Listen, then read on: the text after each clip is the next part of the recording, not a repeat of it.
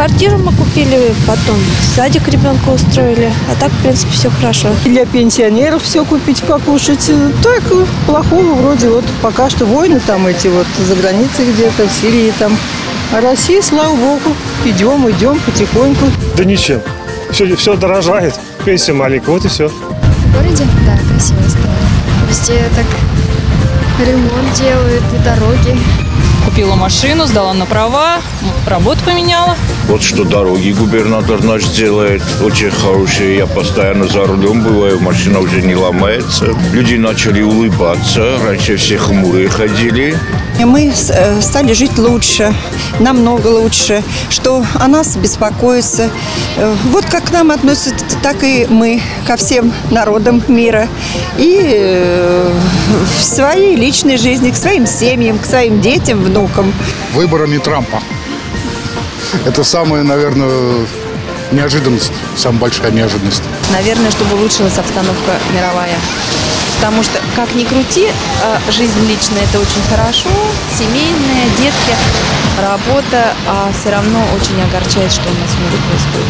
Ой, трудно сказать, сразу, сразу-то не скажешь. Стали хуже жить, хуже россиян никто не живет. Уже руку подняли даже на инвалида. Вот у меня вторая группа инвалидности. И вот с Нового года уже не дадут э, проездной. Раньше был проезд на все виды транспорта, за исключением такси. Я хочу сказать за Владимира Владимировича Путина, что у нас есть такой президент, что у нас нету войны, что мы ложимся спать спокойно и встаем чистой душой. В общем, за Владимира Владимировича Путина он у нас мужик. Выборами в Госдуму.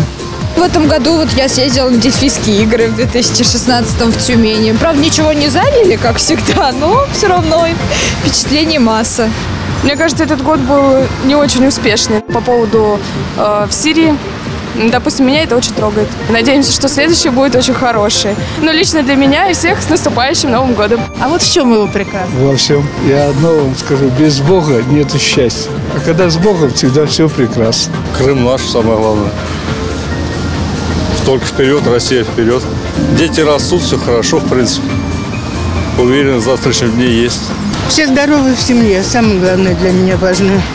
Вот. Что работу потеряли двое внуков, это очень плохо. Это 10 лет работали нормально, жили, в библиотеку влезли, а в- обоих расы, да, вот. Это страшно. Самый богатый теперь бабушка. Прекрасно, все устраивает.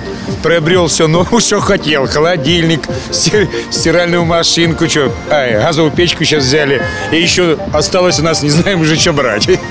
Работа есть, работаю, зарплата устраивает. конечно, всё. побольше платили. У меня нормально. Пенсию У меня нормально. Пенсия нормально была. Меня Ну, все, чё все это? устраивает. И жену люблю.